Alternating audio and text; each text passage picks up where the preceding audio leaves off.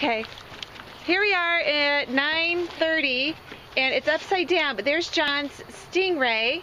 Try, flip it over, bud. Flip it over. Flip it over. Woo! There is the stingray that John just caught.